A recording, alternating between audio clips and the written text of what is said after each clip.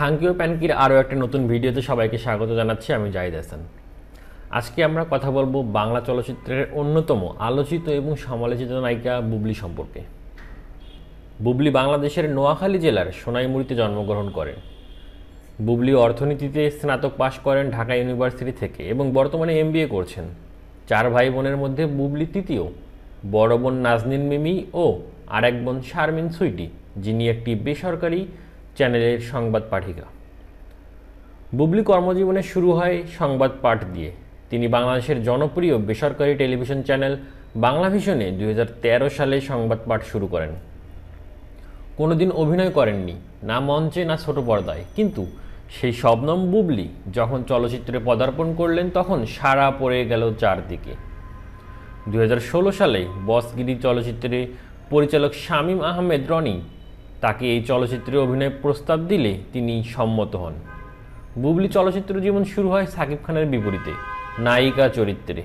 যে চরিত্রে অভিনয়ের জন্য অপু বিশ্বাসের কথা শোনা যাচ্ছিল সব থেকে বেশি। কিন্তু অপু বিশ্বাস সরে গেলে সে জায়গায় পূর্ণিমা, মাহিয়া মাহি, নুসরাত ইমরোজ তিশা, এমনকি কলকাতার কোয়েল মল্লিকেরও নাম শোনা যাচ্ছিল।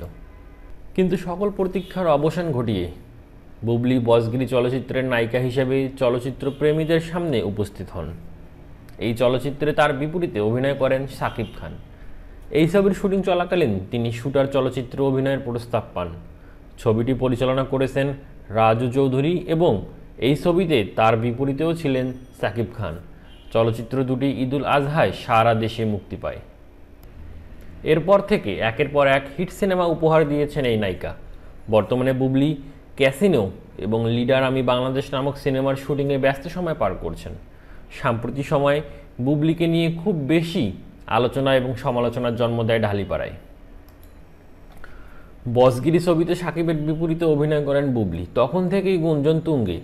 সাকিব বুবলির প্রেম নিয়ে বেশ অনেকদিন চর্চাও হয়। তবে দুজনের কেউই প্রকাশ্যে এ বিষয়ে কখনো মুখ খোলেনি। মাঝখানে বুবলির আমেরিকা চলে যাওয়া এবং সেখানে গিয়ে দেশে ফেরত না আসা নিয়ে অনেক গুঞ্জন শুরু হয়।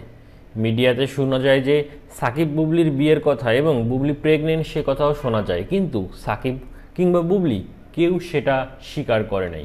তবে কিছুদিন আগে সাকিব ও বুবলির বেবির পিকচার সোশ্যাল মিডিয়াতে ফাঁস হয়ে গেলে দুইজনেই বেশ অস্বস্তিতে পড়ে যায়। শেষ পর্যন্ত দুইজন সংবাদ সম্মেলন করে। অনেক নাটকীয়তার মাধ্যমে নিজেদের বিয়ের কথা এবং আড়াই বছরের একটি ছেলে সন্তানের কথা প্রকাশ করেন। এই ঘটনার পর অনেকেই মনে করেন, বুবলিও কি শেষ পর্যন্ত অপু বিশ্বাসের পথে হাঁটলেন?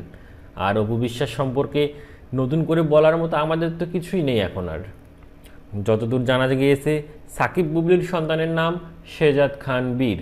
বুবলি এখন নিয়মিত তার সন্তানের ছবি প্রকাশ করেন সোশ্যাল মিডিয়াতে।